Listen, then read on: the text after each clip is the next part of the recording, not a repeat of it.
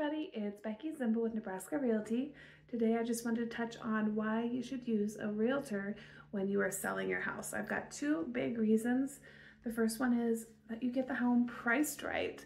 Um, realtors, we have experience going through different houses and know how much more different features are going to be worth than others.